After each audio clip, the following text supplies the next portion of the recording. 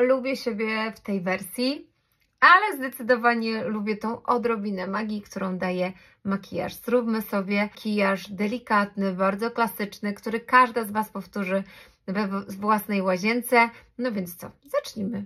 Na oko dwa cienie z edycji limitowanej i to jest świetne rozwiązanie dla pań, które mają takie poczucie, ja nie umiem się malować.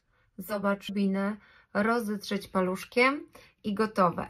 Teraz drugi cień, również z edycji limitowanej. Możesz go rozblendować również paluszkiem, ale możesz użyć do tego pędzelka. Ja polecam najpierw rozetrzeć, nie przejmujcie się, że o matko, ale jak to wygląda. Spokojnie, teraz bierzemy pędzelek i to pięknie rozcieramy, rozblendowujemy.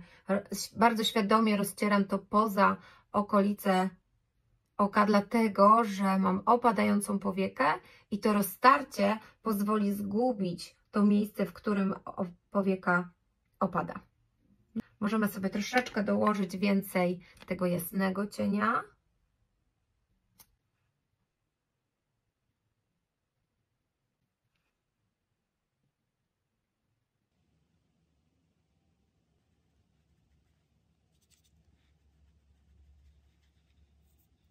Jeżeli podoba Ci się ten zestaw i taki prosty, szybki makijaż, to koniecznie napisz do mnie, zostaw komentarz makijaż, a wyślę Ci więcej info o produktach, które dzisiaj użyłam, więc koniecznie napisz i dowiedz się więcej.